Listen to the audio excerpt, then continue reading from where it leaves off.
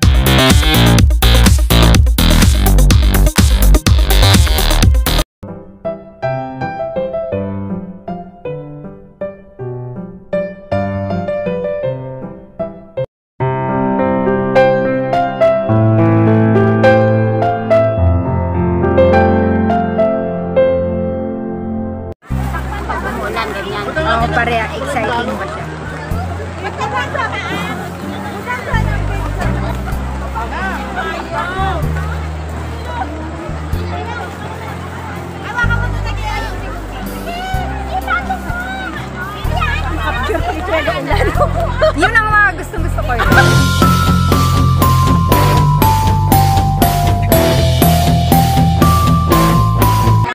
the birthday celebrants today. We believe, Lord, birthday is a gift of life.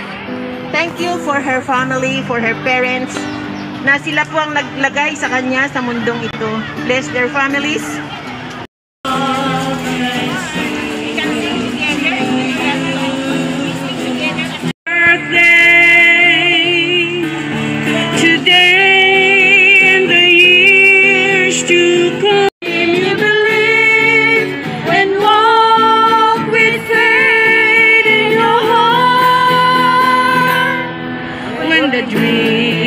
That you dream seem to disappear. Tanghalian ako, pasensya na. Ah, unang-una, pasalamatan ko ang grupo ni Ate Tess, ay ni Ate Rose, ang Love of Jesus, ah, sa kanyang mga kasamahan. Salamat sa pagpunta niyo ng... Actually, itong lugar namin is tangbayan lang paglinggo. Oo. Pero salamat dahil pinuntahan niyo kami at saka nakapagbigay kayo ng prayer sa amin. Hopefully, next time, we can... salamat, Gite. Salamat sa inyong lahat.